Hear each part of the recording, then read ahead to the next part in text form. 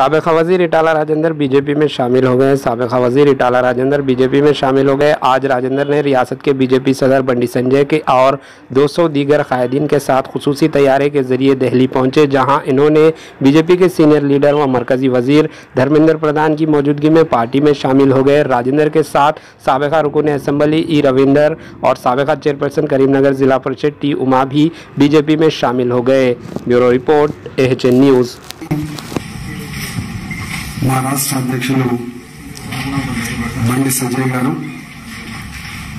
గౌరవనీయులు BJP national vice president Aruna గారు కేంద్ర మంత్రివర్యులు మిత్రుడు కిషన్ రెడ్డి గారు గౌరవ పార్లమెంట్ సభ్యులు అరవింద్ గారు సూర్యబాబురావు గారు పెద్దలు మురళీధర్ రావు గారు